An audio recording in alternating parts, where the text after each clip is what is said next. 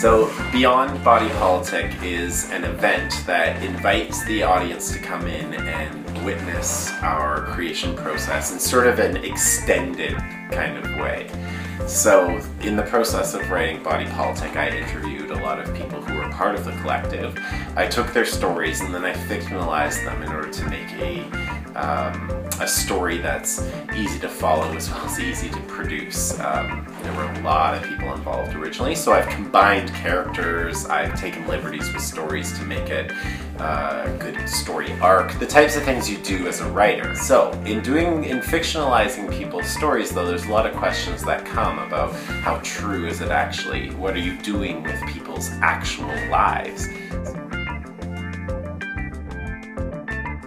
I take their story, I quickly and spontaneously create a theatrical extension of their story, which is fed to a group of actors and a director who then stage it. It's, it's very rough, um, it's a bit of a exploration, um, a bit of a theatrical experiment, and it's a lot of bit terrifying, mostly. We decided to do Beyond the Body Politic uh, because there were some questions that needed to be answered. Uh, a lot of people raised questions about the content that's in our play, our process, that kind of thing.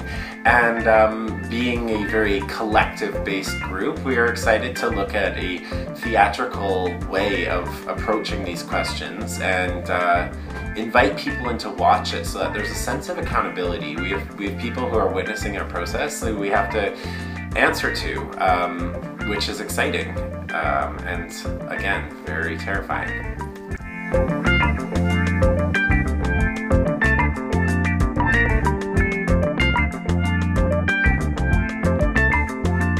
Hey lady, don't you remember?